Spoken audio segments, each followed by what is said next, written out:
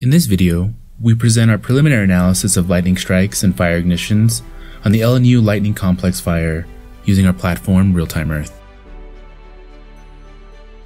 For this analysis, we used four cameras from the alertwildfire.org camera network, including Lake Berryessa, Lake Berryessa East, Atlas Peak West, and Sonoma Mountain. The lightning storm primarily responsible for these ignitions came out of the south. With this grid view of the cameras, we can watch as the lightning storm rolls through the area. This set of cameras captured over 40 lightning strikes associated with this storm.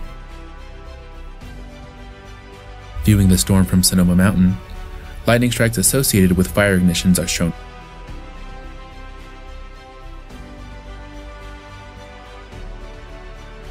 Using the calibrated alert wildfire cameras in real-time Earth, we can determine the heading of the lightning strikes identified. Going back to the grid view, we can see that a fire ignition has been identified in the Atlas Peak West camera.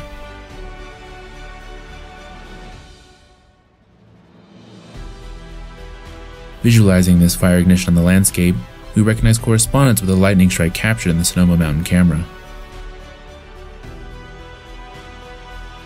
With this information, we can estimate the start location of the fire.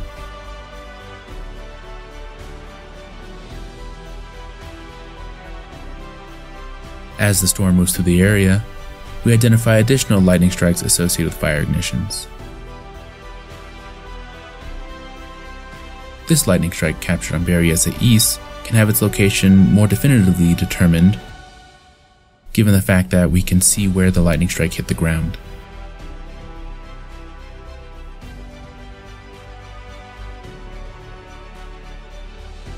Back in the grid view, we can monitor the progression of the lightning storm as it moves through the area. We note fire activity increasing at the ignition point identified in Atlas Peak West. Another fire ignition is spotted beyond a ridge in the Berryessa East camera. With this camera being calibrated, we can estimate the location of this ignition.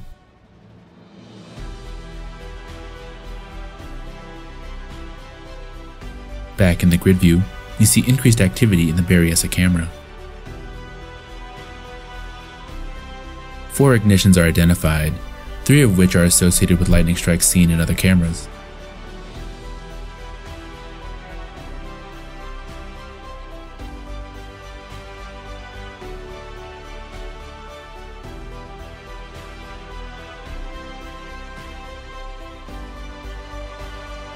Here we visualize the fire ignitions with respect to the lightning storm progression.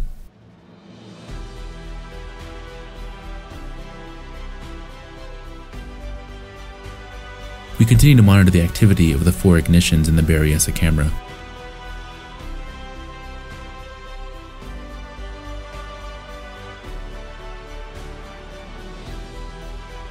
Going back to Atlas Peak West, we mark up the fire perimeter to estimate its size.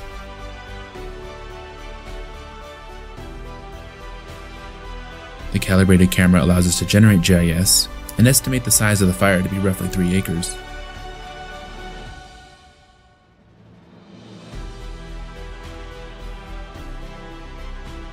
In total, we identified six fire ignitions associated with the lightning storm and the four alert wildfire cameras that we focused on. Here, we display our estimated ignition locations with respect to some of the original fire perimeters published by NIFC. We note five of the six ignitions identified lie within these perimeters.